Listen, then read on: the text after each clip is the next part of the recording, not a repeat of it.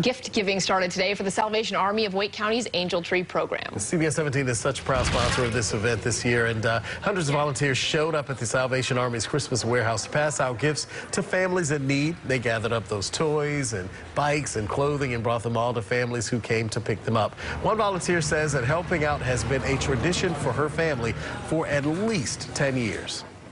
Sometimes they have the kids with them in the car, and so like today we've seen kids just the excitement in their eyes to see what's in that big bag or in that big box. Um, it just warms your heart to see them excited. That is pretty exciting. The pickup location is at 1300 Buck Jones Road in Raleigh. The warehouse is open from 8:30 to 5 tomorrow and on Thursday.